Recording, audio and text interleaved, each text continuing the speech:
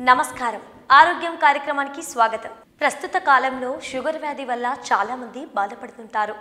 ఒకసారి షుగర్ వ్యాధి వచ్చిందంటే తీపి వస్తువులకు దూరంగా ఉండవలసి వచ్చిందని ఆందోళనకు లోనవుతారు. ఇప్పుడు చెప్పబోయే ఈ పండ్లను తినడం వల్ల షుగర్ లెవెల్స్ కంట్రోల్లో ఉండడానికి సహాయపడతాయి. మరి డయాబెటీస్ ఉన్నవారు తీసుకోవాల్సిన జాగ్రత్తలు ఒకసారి చూద్దాం. నేరేడు పండు.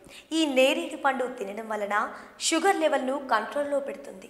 ఈ పండులో తీపి తక్కువగా ఉండి పోషకాలు అధికంగా ఉండడం వల్ల ఆరోగ్యానికి ఎంతో మేలు చేస్తుంది జామ పండు.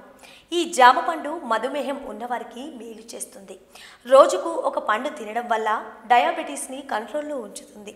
జామ పండులో vitamin A vitamin E fibres అధికంగా ఉండడం వల్ల మధుమేహాన్ని అదుపులో ఉంచుతుంది. జామ పండు రోజు తినడం వల్ల మలబద్ధకం సమస్య నుండి విముక్తి కలుగుతుంది.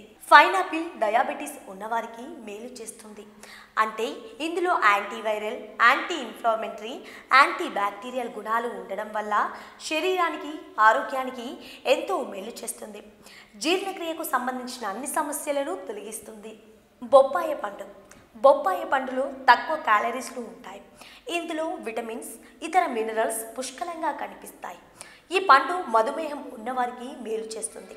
ఇది బ్లడ్ ప్రెషర్ను తగ్గించి షుగర్ లెవెల్ను కంట్రోల్లో ఉంచడానికి సహాయపడుతుంది. కమల పండ్లు ఈ కమల పండును రోజుకు ఒకటిగా తీసుకోవచ్చు. ఈ కమల పండులో సి విటమిన్ అధికంగా ఉండడం వల్ల షుగర్ లెవెల్ను తగ్గించడానికి సహాయపడుతుంది. ఇది జీర్ణక్రియను మెరుగుపరుస్తుంది. మలబద్ధక సమస్యను దూరం చేస్తుంది. Watermelon. Water మిలన్లో vitamin A C potassium magnesium పుష్కలంగా ఉంటుంది. ఈ పండు ఆరోగ్యానికి ఎంతగానో మేలు చేస్తుంది. డయాబెటీస్ ఉన్నవారు దీనిని తగు మోతాదులో తీసుకోవాలి.